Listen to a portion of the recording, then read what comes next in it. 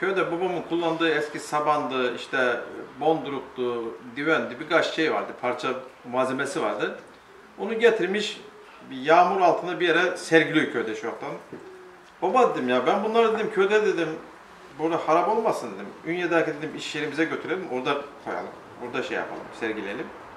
Önce izin vermedi. Sonra da onun da yağmur altında şey oldu bir gönlü geldi. Dedi oğlum götür dedi şey yaptı. Oradan bu merak sardı. Ondan sonra işte ondan başlangıç oldu babamın malzemeleri, birkaç parça malzemeler, köyde kullandığımız, kendi babam ve bizim kullandığımız malzemeler. Daha sonra bu şekilde bu merak bize sardı. 10 yıldan beri devam ediyoruz.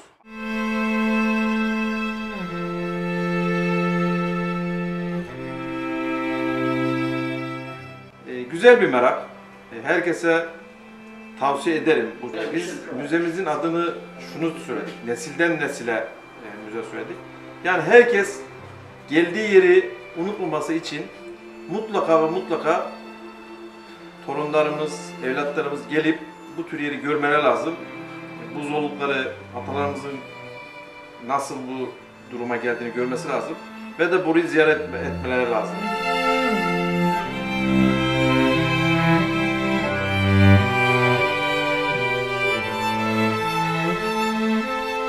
Şimdi bize gezerken eşyaların anılarını anlattınız.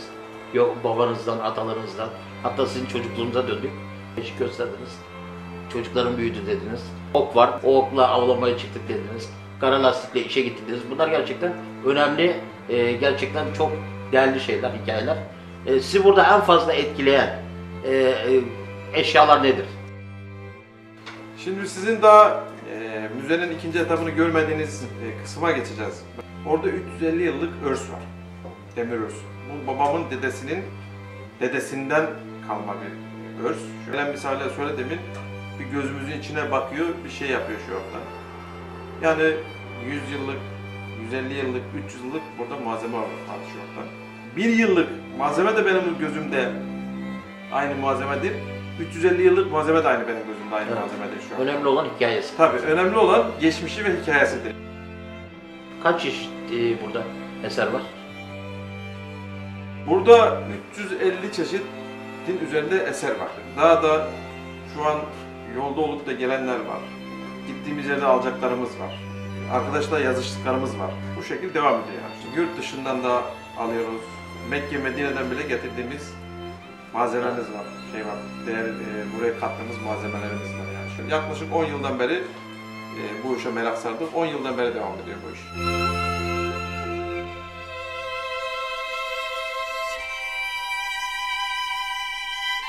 Biz gezdik gördük. Gerçekten de çoğu şehirde göremediğimiz, çoğu yerde göremediğimiz tarihe tanıklık etmiş eşyalar var. Şimdi belli bir e, kriteriniz var mı bunları toplarken?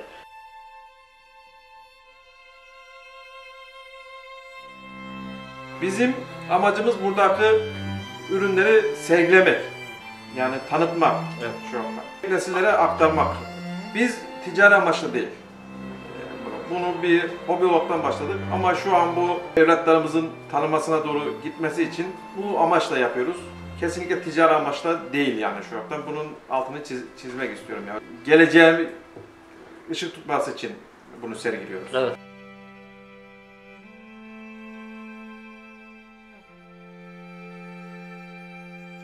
Vallahi biz teşekkür ederiz. Bizi ağırladınız. Eğer bir son mesajınız varsa. Biz teşekkür ederiz yani. Bizim mesajımız e, şu. Buraya Ünye içinden, Ünye dışından, yurt dışından burası 24 saat açık. Herkes e, gelebilir. e, rahatlıkla gelebilir. e, ziyaret edebilir. E, okullar özellikle e, buraya çocuklarımız, geçmişlerimiz özellikle gelebilir. Gelsinler ya gelebilir dediğimizde gelse biz misafir ederiz yani şu yoktan. E, ağlarız şu yoktan. Onur duyarız.